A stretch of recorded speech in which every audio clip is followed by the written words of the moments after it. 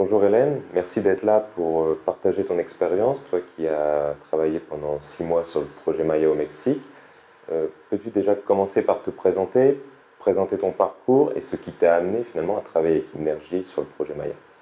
Oui, euh, donc je m'appelle Hélène Livingston, je suis ingénieure agronome et je suis partie pendant six mois sur le terrain au Mexique avec l'association Nukuchkash qui met le projet en place localement. Et donc, euh, eh bien, j'ai vécu une partie de mon, enfance en, Afrique subsaharienne.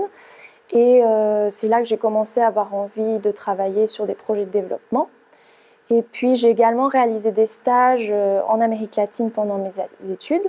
Donc, quand Inergy m'a proposé d'aller sur le terrain au Mexique, ben, j'ai pas, pas hésité longtemps. C'était le genre de projet sur lequel je souhaitais travailler.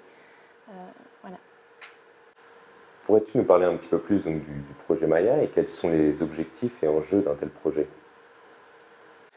Oui, alors euh, l'objectif principal du projet Maya, c'est de vraiment redonner euh, sa place à l'arbre euh, dans les communautés Maya du sud du Yucatan. en fait, cette région a connu un taux de déforestation importante ces dernières années, notamment dû à l'activité agricole. Et euh, ce qu'il y a, c'est que l'arbre et la forêt euh, ont quand même une place importante euh, dans la vie de ces communautés, puisqu'ils en font plusieurs usages. Donc au niveau de leur alimentation, pour s'approvisionner en énergie, en matériaux de construction, mais aussi au niveau de leur santé, pour ne citer que quelques exemples. Donc on veut vraiment redonner la place à l'arbre pour ces populations. Donc pour revenir à ce qu'on fait euh, vraiment sur le terrain, on met en place euh, des parcelles ou bien en reforestation ou en agroforesterie. Donc ça, c'est lorsqu'on combine euh, des cultures et ou de l'élevage avec des arbres. Donc ça, ça peut avoir plusieurs objectifs. on a des objectifs premièrement économiques, donc diversifier les revenus des agriculteurs. Euh, des objectifs sociaux, donc là notamment euh, assurer, renforcer la sécurité alimentaire des agriculteurs et de leurs familles, et euh, des objectifs aussi environnementaux, puisque les, arbres et la forêt permettent de réguler le climat localement, mais également au niveau plus, plus, global, donc de mitigation du changement climatique. Euh, ça permet également de protéger les sols, favoriser la biodiversité. Euh, il peut y avoir des avantages euh, multiples. Planter un arbre, à première vue, ça paraît simple.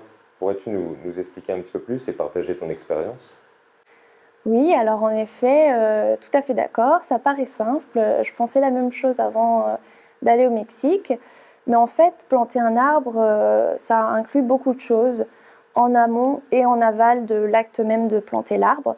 Si on veut que le projet euh, réussisse et soit durable sur le long terme, euh, il y a beaucoup de choses à mettre en place. Donc euh, la première chose, ben, c'est choisir les bénéficiaires. il faut qu'on donc on, présente le projet dans les communautés et il faut qu'on soit sûr que les bénéficiaires ont bien compris la démarche et surtout qu'ils s'engagent sur le long terme. Il ne suffit pas de planter les arbres et d'implanter la parcelle la première année, il va falloir euh, suivre pendant plusieurs années pour assurer la survie de ces arbres. Euh, donc première chose. Ensuite, on va, une fois qu'on a choisi les bénéficiaires, il faut choisir les espèces à implanter. Donc ça, on le fait en dialogue avec eux. ensuite, il va, on va passer à l'étape de préparation du terrain. Donc tout est manuel là-bas, tout se fait à la main. Euh, il va falloir euh, désherber, débroussailler, mais aussi euh, creuser les trous. Donc un trou de 30 cm de diamètre sur 30 cm de profondeur, c'est pas rien quand on le creuse à la main et qu'on a au moins 400 à faire à l'hectare. donc une fois qu'on a préparé le terrain, on va s'occuper de transporter, d'aller chercher les plants. Là aussi, c'est pas si simple. Si on a 10 hectares à mettre en place et qu'on a 4000 arbres à aller chercher, euh, il faut en faire quand même des allers-retours à la pépinière, qui n'est souvent pas juste à côté de la communauté. Donc il y a du temps de transport, il y a toute une logistique euh, à mettre en place. Et euh, ensuite, une fois qu'on a fait déjà toutes ces étapes, là, on passe vraiment à l'acte de planter l'arbre, qui est peut-être une des étapes qui prend en fait le moins de temps. Et ensuite, ben, on aura tout le, suivi de, la, de la parcelle, donc, euh, qui inclut le producteur, donc qui va bien s'assurer de désherber, de protéger les arbres contre d'éventuels ravageurs, etc.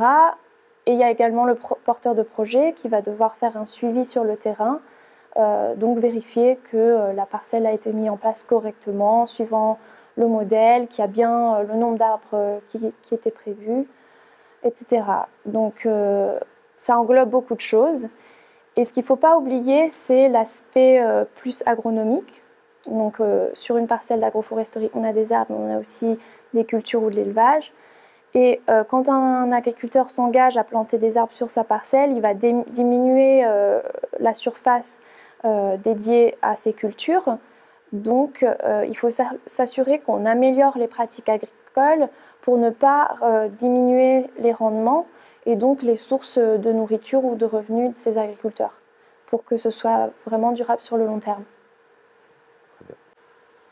Cite-nous un fait qui t'a marqué, qui t'a surpris sur le terrain pendant ton séjour et auquel tu ne t'attendais pas. Oui, alors euh, il y en a plusieurs qui me viennent en tête. Euh, pas forcément des faits qui m'ont surpris, mais en tout cas, une des premières choses, c'est la motivation des agriculteurs euh, sur le terrain ils sont tout de suite très intéressés quand on leur parle d'agroforesterie. Ce n'est pas quelque chose qui est encore euh, très répandu, euh, mais donc, donc ça les intéresse et ils sont très motivés, même après au niveau de la mise en place du projet, et très impliqués. Donc j'ai trouvé ça agréable, on va dire, pour travailler avec eux. quoi dire d'autre? J'ai été surprise, cette fois-ci, oui, j'ai été surprise par la rudimentarité de leurs euh, outils. Euh, donc déjà tout se fait à la main, tout ce qui est désherbage euh, c'est à coup de machette, donc il faut y aller. Et pour creuser les trous, c'est assez surprenant, mais ils, font ça avec des barres métalliques pour creuser le sol. Et ensuite, ben, on, sort la terre à la main. Donc c'est des barres métalliques qui sont lourdes. On a vite des ampoules, quand on n'est pas habitué, on a vite des ampoules sur les mains. Euh, donc j'ai trouvé ça quand même très surprenant euh, de, voir, euh, de voir ça. Donc autre chose qui a été parfois un peu difficile, c'était la communication. Donc dans le Yucatan, sur le terrain, la, la langue locale, c'est le maya, ce qui se parle dans les, dans les communautés locales. Et donc moi, je n'ai pas de connaissance du maya.